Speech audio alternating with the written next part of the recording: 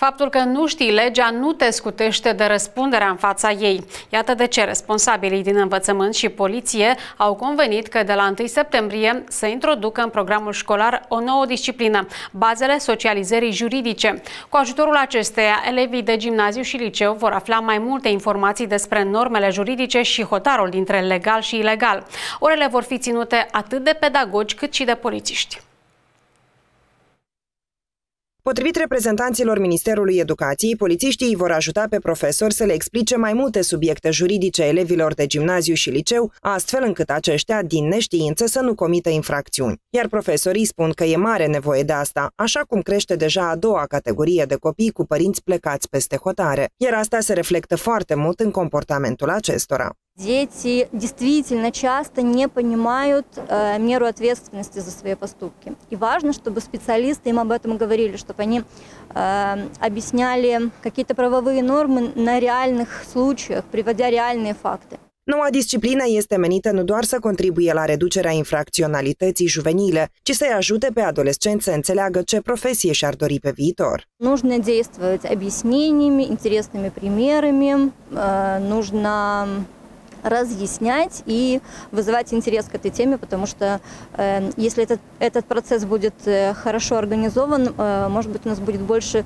э, желающих детей э, стать сотрудниками полиции.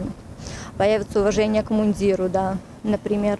Munca va fi una de echipă, iar forțele de ordine sunt gata să accepte provocarea. Este implicarea polițistului și profesorului în tandem și anume că ora o va desfășura și de bază va fi profesorul, însă polițistul vine în suportul profesorului pe aspect juridic, ceea ce vine ca o, o sursă de informare pentru elevi și va dura ora 45 de minute sau deja cum va decide managerul instituției de învățământ. Iar acum responsabilii din poliție stabilesc un mecanism de lucru astfel încât orele de predare care să nu împiedice pe polițiști să-și îndeplinească obligațiunile principale de serviciu. La noi sunt antrenați în 22 de instituții de învățământ, 22 de polițiști. Ulterior, la fiecare polițist are câte 1-2 polițiști care vin în suportul acesta atunci când polițistul de bază este antrenat în alte activități. Însă, odată cu implementarea la nivel național, aici deja devine să gândim acel mecanism cum vom implica noi acei polițiști, dat fiind faptul să nu fie așa să spunem, înlăturați de la atribuțiile de bază. Lansarea proiectului pilot s-a dovedit a fi un succes de care au rămas mulțumiți atât copiii cât și părinților. Au fost foarte plăcut surprinși disponibilitatea elevilor și a părinților față de acest program, fiind adresate doar recomandări pozitive. Despre acesta, totodată noi abordăm acele aspecte legislative care urmează să le cunoască fiecare copil, atât răspunderea penală, contravențională, acele măsuri care se aplică față de copii atunci când ei sunt atrași la răspundere, inclusiv și acele servicii care vin în suportul copiilor atunci când ei ajung în contact cu legea. Oamenii salută introducerea acestei discipline în școală. Это очень полезно. Во-первых, потому что больше этого нигде не рассказывается, и родители не очень об этом рассказывают.